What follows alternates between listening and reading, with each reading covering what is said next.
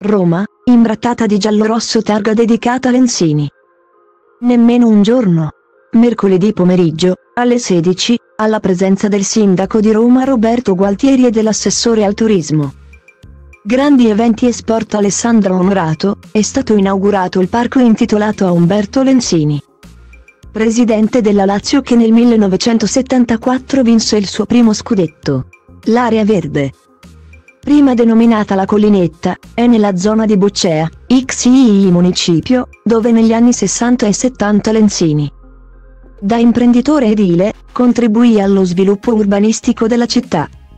Già nella mattinata di giovedì però l'insegna che riporta il suo nome è stata imbrattata.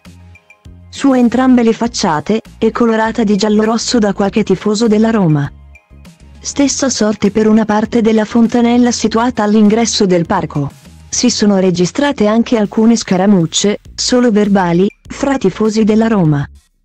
Divertiti dall'accaduto, e quelli della Lazio, che invece sono infastiditi. Alcuni bambini, che con la scuola svolgono sport nel parco, esultano alla vista dei colori giallorossi. A dimostrazione che gesti del genere, oltre che irrispettosi verso la memoria del defunto, e della famiglia, che per anni si è battuta affinché gli venisse intitolata una strada, sono anche diseducativi per i più piccoli.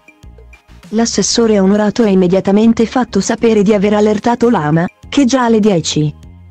20 era sul posto per ripulire l'insegna, sulla quale era stato anche attaccato un adesivo sul quale è ritratto un bambino che urina. Accompagnato dalla scritta al mio sogno fin fa bambino.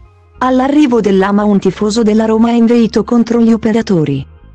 Avessimo chiamato un'ambulanza non sarebbe arrivata così presto, ma per difendere la Lazio intervenite subito. A dimostrazione che lo sport, a Roma, divide più che unire.